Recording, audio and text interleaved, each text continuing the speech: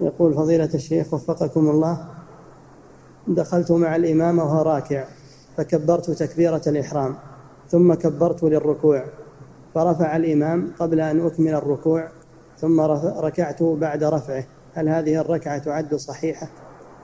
إذا وصلت يداك إلى ركبتيك راكعا فقد أدركت الركوع فتأتي بالتسبيح بعد الإمام وتلحق به تطمئن إذا وصلت يداك إلى ركبتيك أدركت الركوع فتطمئن بعد الإمام وتقول سبحان ربي العظيم ثم تلحق بالإمام. أما إذا رفع الإمام رأسه قبل أن تصل يداك إلى ركبتيك فإنه فاتك الركوع.